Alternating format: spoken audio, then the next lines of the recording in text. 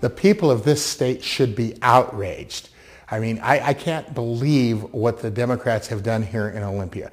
First, they gut the two-thirds requirement in the Taxpayer Protection Act for tax increases.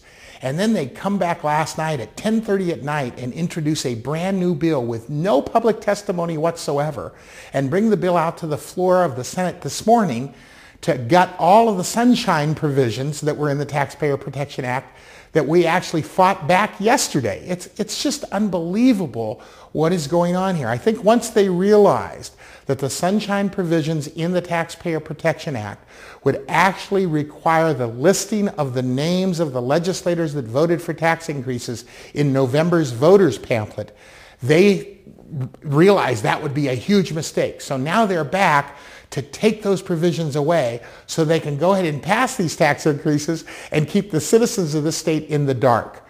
The citizens of Washington, whether they're Democrat, Republican, Independent, should be outraged at the process in which is being used to, in the cover of darkness to cloak the transparency here. We have fought for years to make government transparent to the citizens so that citizens know exactly what their legislature is doing so they can have a voice in their government. The Constitution says in the state of Washington that the first right of the people is reserved to the people in the form of the initiative and the referendum process. And that's for all the people. It doesn't matter what party you belong to.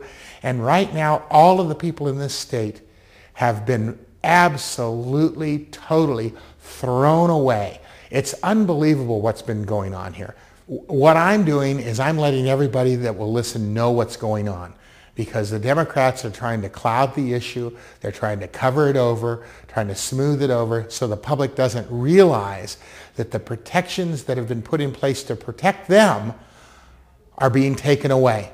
And they're being taken away without any say-so, without any input. No public testimony on the, on the bill was allowed. It was introduced at 10.30 last night when most people were already in bed. It is appalling. And I don't care what party you belong to, but the process here about which they have gone is wrong. This is not the way government is supposed to be. This is, these are the signs of a tyrannical dictatorship these are not the processes that have been put in place in a representative democracy. And the citizens of this state should be breaking down the phone lines here, calling everybody, writing everybody. It's just, I, I cannot believe what they're doing. They're trashing the entire democratic process. It's got to be stopped. And the only people that can stop it, really, are the citizens of this great state with a, with a large outcry. Uh, people should be coming to Olympia, doing rallies, calling their legislators, Democrat, Republican, it doesn't matter, and saying, wait a minute, this is not the way laws are supposed to be made. Not under our Constitution. This isn't the way it's supposed to work.